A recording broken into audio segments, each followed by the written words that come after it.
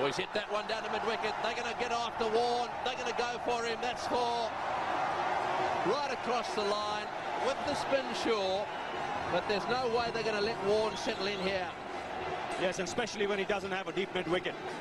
He's bowling inside the first 15 overs, so the fielding restrictions apply. Ganguly is going to take his chances, and he's picked a spot here. There's no one in the deep, so all he wants to do is really clear that fielder at mid-wicket. Oh, he's hit that one down a square leg. Ganguly is after Warne. He got a bit of, he had a bit of luck in the, I think it was the second ball, but those were two good shots. Well, the crowd coming to life here, and once again a very good shot from Sourav Ganguly.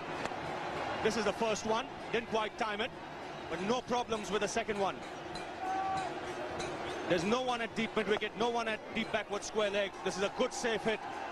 And as a result of those two boundaries now, a man is dropping back into the deep. But good cricket here by the Indian captain. I think that target today is going to be set much lower than in previous matches.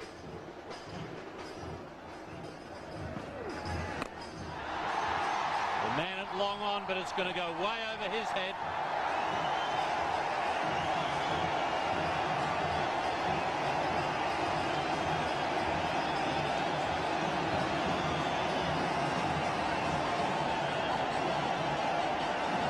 This is the Ganguly of old.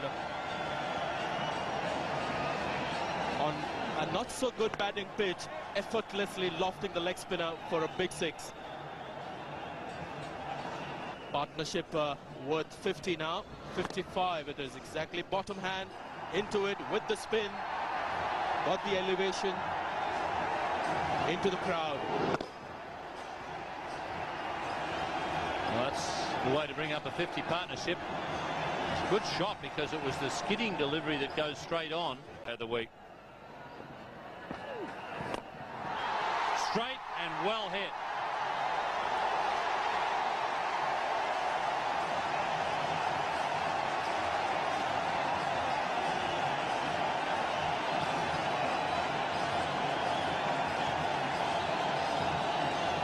Well, it took a while coming, but it's come at last for Ganguly.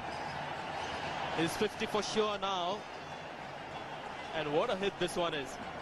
Again, the ball pushed through. They got underneath so well. Another one for Ganguly. Might not go all the way. Bracken uh, giving it chase. It does. So a six followed by a boundary. And Shane Warne is struggling out there. A good clean hit.